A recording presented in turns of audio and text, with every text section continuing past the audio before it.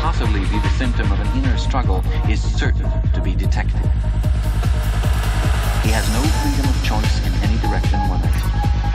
On the other hand, his actions are not regulated by law or by any clearly formulated code of behavior. In Oceania, there is no